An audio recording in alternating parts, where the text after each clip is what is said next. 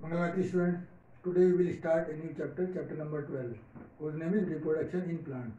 तो इसमें चैप्टर में हम प्लांट में रिप्रोडक्शन कैसे होता है इसके बारे में स्टडी करेंगे। सबसे पहले हम रिप्रोडक्शन के बारे में जानेंगे कि रिप्रोडक्शन होता क्या है।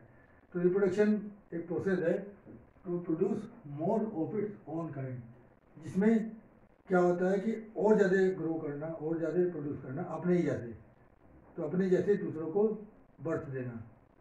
प्रोड्यूस करना इसको हम बोलते हैं रिप्रोडक्शन तो ये जो है, किसी भी लिविंग ऑर्गेनिज्म का एक इंपॉर्टेंट करेक्टरिस्टिक है. सभी जो लिविंग ऑर्गेनिज्म होते हैं, चाहे वो प्लांट्स हैं, चाहे वो एनिमल्स हैं ह्यूमन बींग हैं, सब में रिप्रोडक्शन होता है. सभी अपनी जैसे दूसरों को और ज़्यादा को बर्थ देते हैं प्रोड्यूस करते हैं. इसको हम रिप्रोडक्शन कहते हैं. अब ये रिप्रोडक्शन जो है, वो टू टाइप्स के होते हैं. सेक्सुअल रिप्रोडक्शन है असेक्सुअल रिप्रोडक्शन असेक्सुअल रिप्रोडक्शन जो है सेक्सुअल रिप्रोडक्शन में क्या होता है? सेक्सुअल रिप्रोडक्शन वो रिप्रोडक्शन होता है जिसमें सीड की ज़रूरत नहीं होती, जो विदाउट सीड होता है। और सेक्सुअल रिप्रोडक्शन होता है जिसमें सीड की ज़रूरत होती है। तो इसका मतलब क्या हुआ? इसमें सेक्सुअल रिप्रोडक्शन में मेल रिप्रोडक्टिव पार्ट और फीमेल रिप्रोडक्टिव पार्ट दोनों की ज़रूरत होती है। यानी टू पेरेंट्स चाहिए लेकिन जो सेक्सुअल रिप्रोडक्शन होता है, ये सिंगल पेरेंट से होता है। इसमें एक ही पार्ट होता है यूज़ चाहे वही मेल होता है रिप्रोडक्टिव पार्ट और वही फीमेल रिप्रोडक्टिव पार्ट होता है। तो असेक्सुअल रिप्रोडक्शन से जो नए प्लांट ग्रो करते हैं तो उनमें टाइम कम लगता है टाइम कंज्यूमिंग नहीं होते हैं। और दूसरा कि वो आइडेंटिकल होते हैं, यानी जो पेरेंट प्लांट है, जिस प्लांट से हम नया प्लांट तैयार कर रहे हैं तो उसके फोटोकॉपी होते हैं बिल्कुल। जैसे आप देखते हैं ना फोटोकॉपी किसी पेपर की फोटोकॉपी हम निकालवाते हैं तो बिल्कुल सेम वैसी होती है। इसी प्रकार से जो नए प्लांट तैयार होते हैं असेक्सुअल रिप्रोडक्शन में, वो जो है, जो जो पेरेंट प्लांट है, कि उनकी फोटोकॉपी होती है आइडेंटिकल होते हैं बिल्कुल। सेक्सुअल रिप्रोडक्शन में ऐसा नहीं होता है। सेक्सुअल रिप्रोडक्शन में जो नए प्लांट बनते हैं, वो फोटोकॉपी नहीं होती आइडेंटिकल नहीं होते हैं। और सेक्सुअल रिप्रोडक्शन में नए प्लांट सीड की हेल्प से तैयार होते हैं। तो मेल रिप्रोडक्टिव पार्ट और फीमेल रिप्रोडक्टिव पार्ट दोनों चाहिए उसके लिए। अब सेक्सुअल रिप्रोडक्शन में क्या आते हैं vegetative propagation budding fragmentation and spore formation तो ये जो चारों मेथड है नए प्लांट ग्रो करने के नए ऑर्गेनिज्म ग्रो करने के, ये सारे सेक्सुअल रिप्रोडक्शन में है। क्योंकि इसमें सीड विदाउट सीड ये ग्रो कर रहे हैं। इसमें सीड की ज़रूरत नहीं पड़ी है। अब वेजिटेटिव प्रोपगेशन में क्या होता है? क्योंकि प्लांट्स के कुछ पार्ट होते हैं, जैसे लीव स्टेम बर्ड और रूट तो इनको बोलते हैं वेजिटेटिव पार्ट तो जो रिप्रोडक्शन में, जिस रिप्रोडक्शन में इन पार्ट्स का यूज़ किया जाता है, यानी इन पार्ट से जब रिप्रोडक्शन होता है तो ऐसे रिप्रोडक्शन को हम बोलते हैं वेजिटेटिव प्रोपेगेशन तो जैसे स्टेम कटिंग तो स्टेम कटिंग में क्या होता है? जैसे रोज प्लांट है। रोज प्लांट में क्या करते हैं? जब एक पॉट में रोज प्लांट लगा हुआ है, उसके हम स्टेम सहित उसको कट करके लगाते हैं दूसरे पॉट में. तो दूसरे प्लॉट दूसरे पॉट में प्लांट की ग्रोथ रोज के प्लांट की ग्रोथ स्टार्ट हो जाती है। तो ये हो गया बाई कटिंग कटिंग से भी हम नया प्लांट तैयार कर सकते हैं। और इसमें है बडिंग बडिंग क्या होता है? बडिंग बडिंग में बल्ब लाइक प्रोजेक्शन होती है। जैसे इलेक्ट्रिक बल्ब होता है, इसी शेप की बल्ब लाइक प्रोजेक्शन स्टार्ट हो जाती है। तो ये बल्ब लाइक प्रोजेक्शन को हम बोलते हैं बड अब ये जो बल्ब लाइक प्रोजेक्शन होती हैं, ये ग्रो करने लगती हैं। ग्रो करके कुछ समय के बाद ये अपने पेरेंट प्लांट से डिटैच कर लेती है, अपने आप को सेपरेट कर लेती है, अलग हो जाती है। अलग होने के बाद ये इंडिविजुअल और इंडिपेंडेंट हो जाती है। तो अब ये पेरेंट प्लांट बन जाती है। अब इसमें फिर बल्ब लाइक प्रोजेक्शन आती है और कुछ टाइम के बाद वो ग्रो करती है ग्रो करने के बाद कुछ टाइम के बाद वो सेपरेट हो जाती है, अपने आप को डिटैच कर लेती है।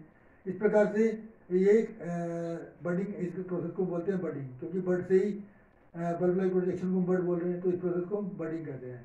तो एक चेंज बनती है और चलती रहती है आगे, और ग्रोथ होती नए नए प्लांट बनते रहते हैं। ये जो बडिंग होता है, ये ईस्ट में होता है। ईस्ट एक माइक्रो ऑर्गेनिज्म है। माइक्रो ऑर्गेनिज्म वो ऑर्गेनिज्म होते हैं जिनको अपनी नेक राई से नहीं देख सकते क्योंकि उनका साइज़ बहुत छोटा होता है। तो उनको देखने के लिए हमें माइक्रोस्कोप की हेल्प की ज़रूरत पड़ती है। माइक्रोस्कोप की ज़रूरत पड़ती है, जिसके जिसकी वजह से हम उनको देख पाते हैं।